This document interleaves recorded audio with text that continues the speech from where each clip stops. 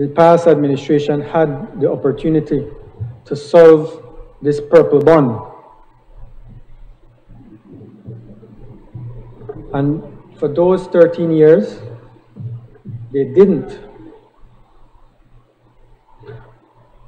But you know what they did? In 13 years, over $730 million in interest was paid on this super bond.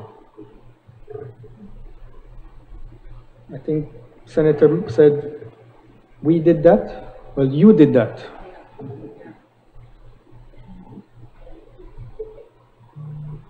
Seven hundred and thirty million.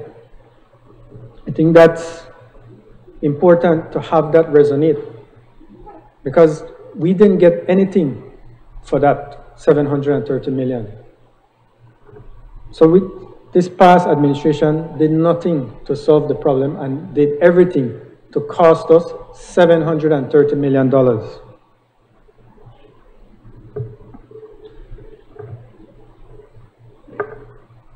Whether it's a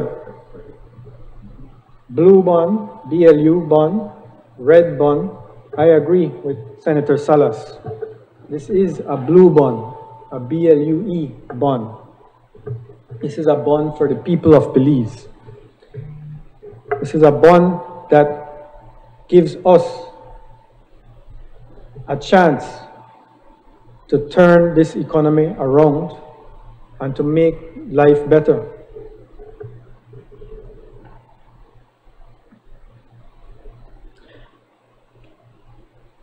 But in setting the record straight, I think it's important to clarify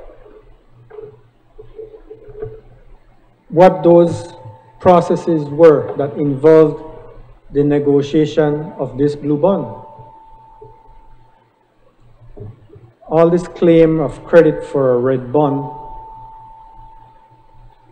it is true that from 2010 this discussion came about. It's, it was referred to then as the Reefs for Life program. It was brought about by the TNC themselves.